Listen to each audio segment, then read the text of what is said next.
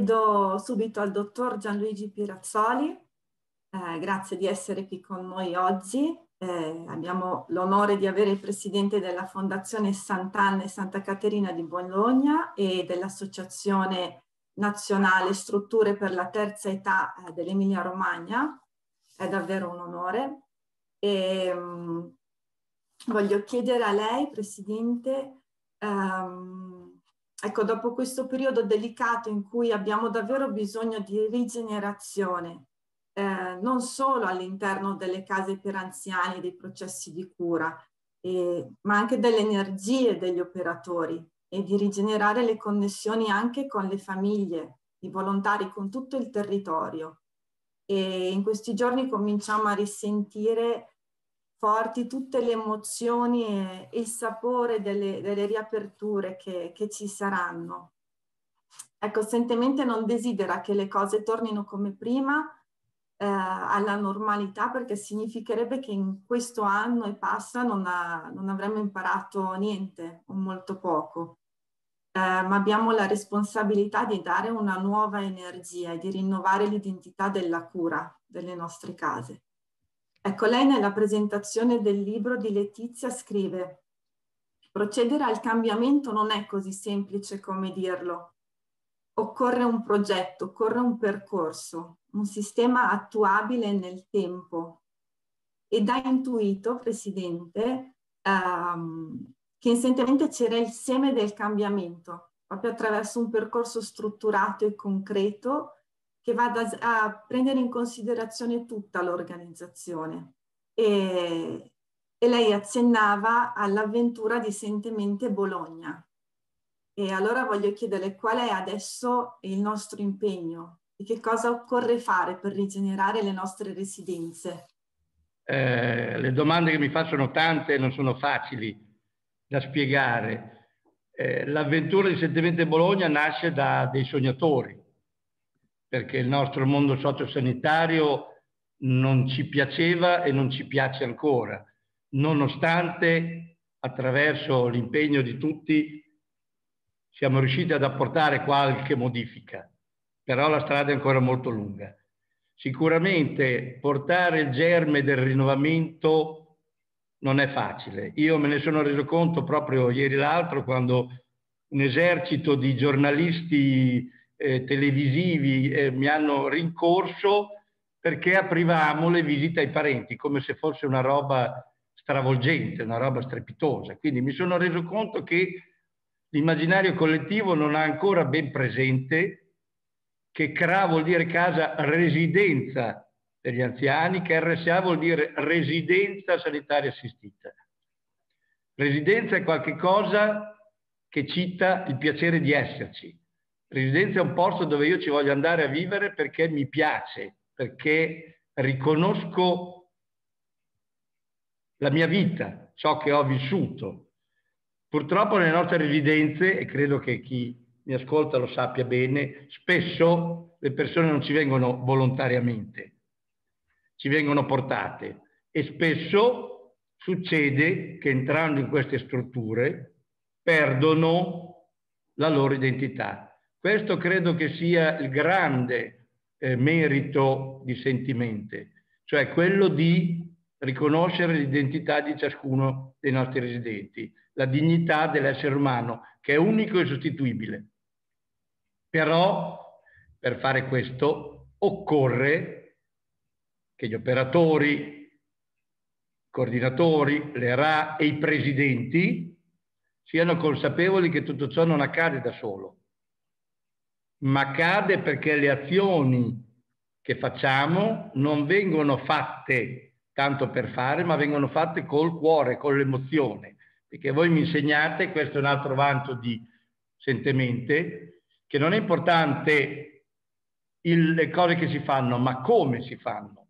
Ed ecco quindi un po' il percorso che voi avete tracciato delle parole potenzianti, perché già solo cambiando le parole e questa è una cosa che io vi confermo, perché la vedo e la sento tutti i giorni nella mia struttura come in altre di carissimi amici che partecipano a questo viaggio, hanno già cambiato le cose. Eh, guardare negli occhi chi si ha di fronte, vuol dire fargli capire sono qui per te, ho capito che hai bisogno. Le biografie, altro grande eh, dono di Sentemente, sono la cosa che mi fanno capire chi ho di fronte. Perché come faccio a prendermi cura di qualcuno che non so chi è? Chi è stato? Cosa ha fatto?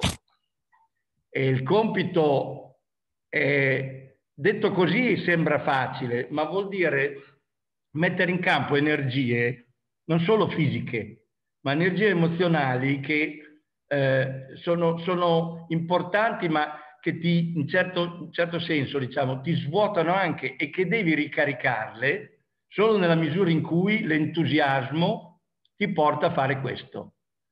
Eh, noi dobbiamo cambiare la percezione dell'immaginario collettivo con queste cose che sono eh, visibili, toccabili. Dobbiamo far capire alle persone che le nostre strutture non sono dei posti dove si va a, non voglio dire il viale del tramonto perché è una roba troppo facile, quasi diciamo in un eh, cimitero degli elefanti. Ecco, eh, questo, eh, questa forza, questa voglia che non si ferma davanti a niente e che, credetemi, eh, eh, i germogli a cui accennavate prima stanno veramente nascendo come funghi e sta solo a noi, perché poi la responsabilità è di tutti. Non esiste qualche cosa che viene fatto se la responsabilità non è di tutti. È troppo facile dire, ah, allora se non è responsabile nessuno vuol dire che non interessa niente. No, il cambiamento è la responsabilità di tutti, perché ognuno deve e può portare il suo contributo.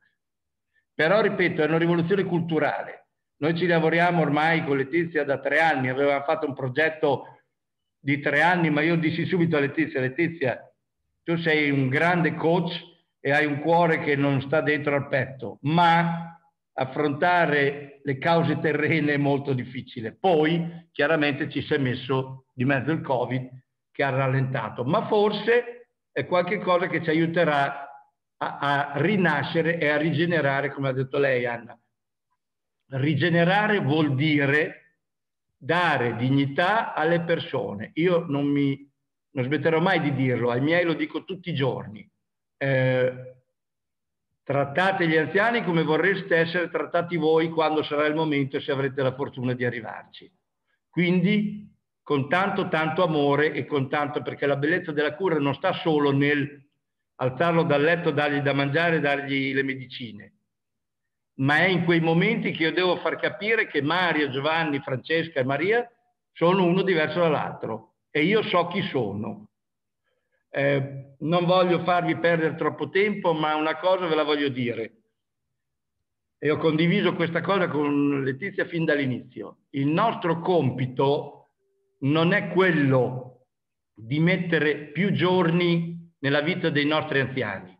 Non ce n'è bisogno, ci pensa già la scienza. Noi dobbiamo mettere tanta vita in questi giorni e quindi far sì che gli anziani che vengono da noi si sentano vivi, e quindi abbiano voglia di continuare un percorso che li ha visti già protagonisti di tanta parte della loro vita. Grazie e buon corso a tutti. Grazie dottor Pirazzoli, grazie a lei ed è proprio così. La bellezza della cura è nei momenti in cui noi riusciamo a far sentire unica quella persona. E abbiamo bisogno di diventare sempre più capaci di eh, tessere, di intrezzare per comporre ad arte e anche ordinatamente una organizzazione che cura per strutturare un piano, una programmazione equilibrata tra le varie parti che, che sono in gioco.